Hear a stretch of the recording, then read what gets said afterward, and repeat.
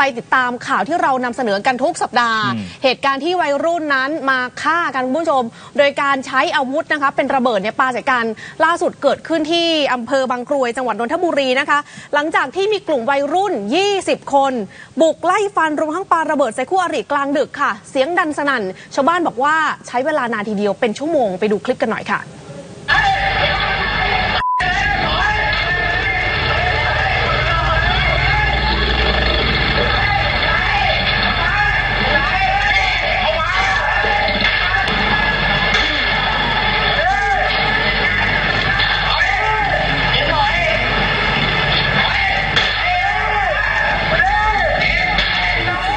นี่ประเทศไทยของเราเป็นบ้านป่าเมืองเถื่อนอยู่หรืออย่างไรทำไมถึงกล้าก่อเหตุแบบนี้กลางดึกด้วยนะคะ ที่คุณผู้ชมเห็นเป็นภาพจากกล้องวงจรปิด ภายในชุมชนแห่งหนึ่งค่ะ ริมถนนบางกรวยไซน้อย จังหวัดนนทบุรี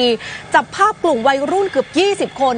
ขี่รถมอเตอร์ไซค์มา 10 คัน เข้าไปปาระเบิดทุบตีรถ แล้วก็ยิงปืนขู่ 7 นัด ใส่คู่อริที่พักอาศัยอยู่ที่ห้องเช่านะคะ ครับและภาพที่คุณผู้ชมเห็นเนี่ยเป็นภาพของคู่อริค่ะอะนี่ปาคือของใส่เขาด้วย อืมพอโดนเขาเรียกว่าพอโดนบุกมาถึงที่พักปั๊บเนี่ยก็ต้องหลบหนี เพราะว่าอีกฝั่งหนึ่งที่เป็นคู่กรณีมาทั้งปืน มาทั้งระเบิดอะนะคะ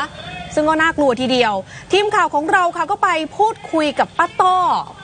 คนนี้ก็เป็นเจ้าของห้องเช่านะคะ เล่าให้ฟังบอกว่า คืนเกิดเหตุเวลาประมาณตีสองกว่าๆมีกลุ่มวัยรุ่นขี่รถมอเตอร์ไซค์เริ่มต้นจากการเข้ามาเบิ้ลเครื่องเสียงดังก่อน หลังจากนั้นก็ขับรถวนไปวนมาก่อนจะยิงปืน แล้วก็ตามมาด้วยการปาระเบิดเสียงดังสนั่น ตัดสินใจแจ้งตำรวจให้มาตรวจสอบ ซึ่งป้าต้อเนี่ยบอกว่าไม่รู้ว่ากลุ่มวัยรุ่นกับคนเช่าห้องทะเลาะเรื่องอะไรกัน อาจจะมีเรื่องกันมาก่อนหรือเปล่า ซึ่งตนก็ไม่ได้สนใจคนเช่าขนาดนั้น ให้เป็นสิทธิ์ความเป็นส่วนตัวของผู้เช่า แต่พอดูจากปัญหาที่ไปกระทบต่อชาวบ้านที่เขาอยู่ใกล้เคียงกันเนี่ยไม่น่าจะเป็นเรื่องส่วนตัวแล้วนะคะ ทีนี้ป้าต้อก็พูดต่อบอกว่า เขาเนี่ยก็อยากจะให้ตำรวจมาช่วยดูแลให้มากกว่านี้ เพราะว่าหลังจากเกิดเหตุ ชาวบ้านเขาต่างหวาดผวากัน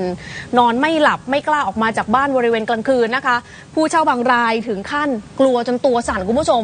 กระทั่งย้ายออกจากหอพัก เพราะว่าเป็นห่วงเรื่องของความปลอดภัย ไปฟังเสียงป้าต้อกันหน่อยค่ะ พักเดียวมันก็มีปืนมีมีมีระเบิดเฟี้ยงอะเราก็นึกว่ามีระเบิดปิงปอง แต่ไม่รู้ว่าว่าเขาจะมีเรื่องกันเรื่องแบบมันมันไล่รถกันมาแล้วมันมันมันมันมามามาเตะที่นี่นะเราไม่คิดว่าในห้อง เราก็นึกอย่างนั้นนี่มันไหนได้โอ้โหมันอยู่ในห้องเช่าบ้านเราด้วยมันเพิ่งจะมารู้ทีหลังอะเราก็เลยเวียทำไงก็ลูกก็ออกมาหมดแฟนเพื่อนออกหมดก็เลยแจ้งตำรวจ